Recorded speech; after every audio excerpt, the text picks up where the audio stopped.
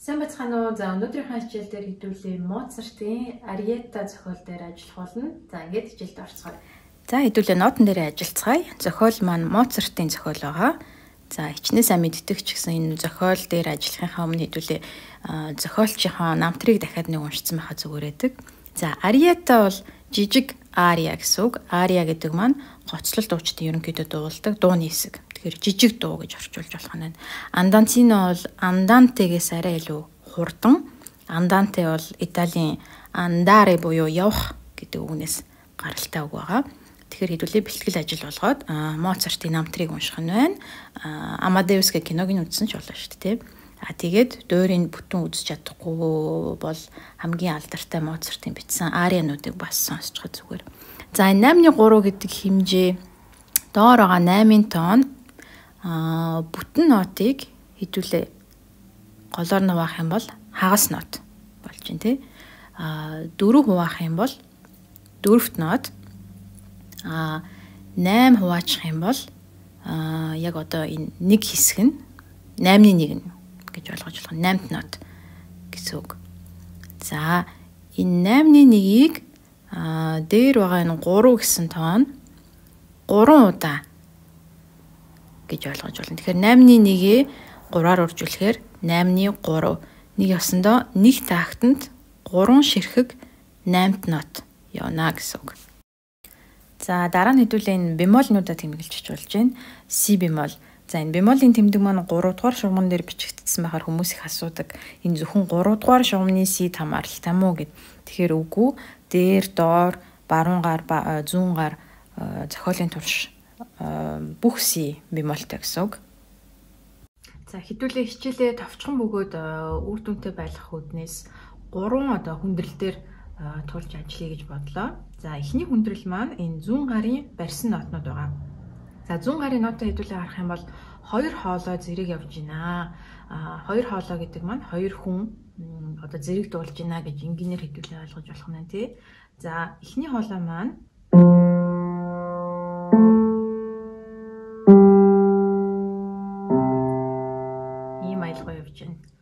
хоёр дахь хоолой маань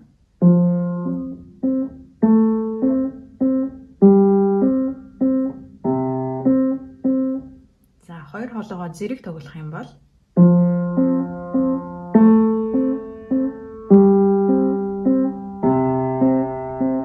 Тэгэхээр энэ ихний хоолойгоо заавал барих нь чухал байна. Нэг өсөндөө хэдүүлээ гараараа педал хийж гинэ гэж ойлгож байна. За баруун гар бол энгийн аялгаа явж байгаа. За бүх гурван хоолоогоо зэрэг тоглохын өмнө таад маань ингэж хоёр хоёроор нь эхлээд тоглож сурвал зүгээр. За эхлээд хэдүүлээ нэгдүгээр хоолоо, хоёрдугаар хоолоогоо сая тоглоод үзчихлээ. Одоо нэгдүгээр хоолоог гуравдугаар хоолойтой тоглож үзье.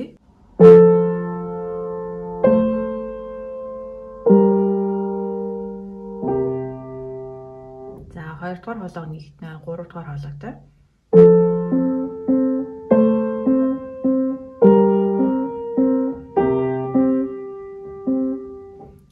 Гуруулангийн зэрэг тоглох юм бол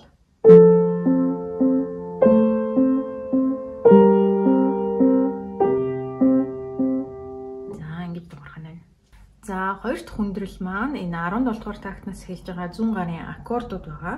За аккорд тоглох хамгийн хэцүү нь юу вэ гэхээр гурван нот маань зэрэг гой дуугарч өгдөг.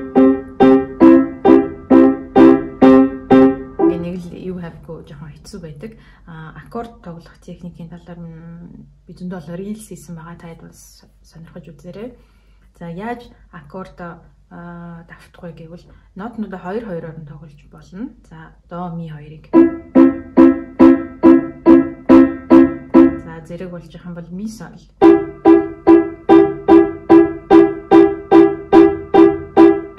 За дараа нь до сол.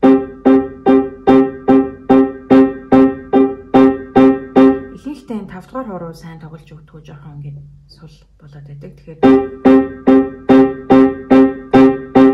дугаар хуруугаа сайн ажилуулад сайн ингэ ухаад за ингэ 2 2-ороо гоё зэрэг байх юм бол эцэст нь гуруулангийн. 3 дахь сүүлийн хүндрэл бол 31 дугаар тактнаас эхэлж байгаа. Энэ 2 такт 16 тууд байгаа.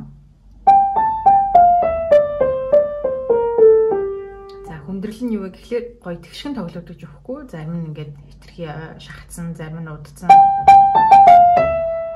энэ эргэлтэн дээр хүмүүс агиух удаашрдаг бас дөрөвдүгээр гурван дээр жоохон удаашрах гэдэг.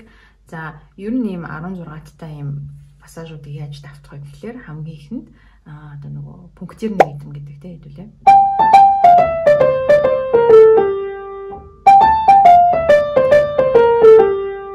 Болж байна. Ухаж давтна. Ийм байна. За дараа нь удаан хурднаар явж болж байна. Эсвэргээрээ хурдан удаан уучлаарай. За ийм байж болж байна. А нот болгоныг дөрвөн удаа давтаж болж байна.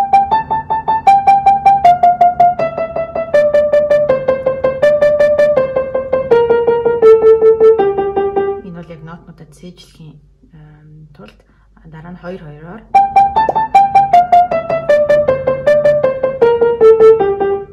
За дараагийн бас арга бол аа урагшаа хашаа урагшаа хашаа ингээ буцаад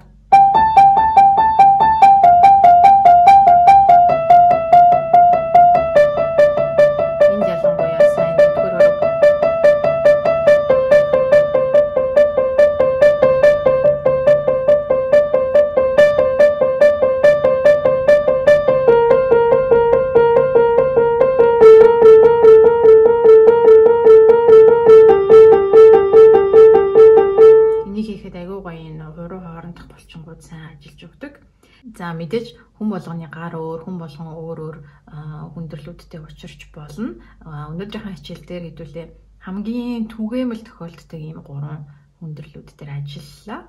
За хичээлтэйг хамт байсанд та бүхэндээ баярлалаа. Ингээд дараагийн видеогоор уулзтлаа. Түр баяртай.